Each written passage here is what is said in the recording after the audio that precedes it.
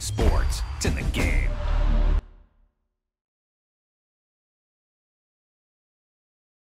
Someone put me out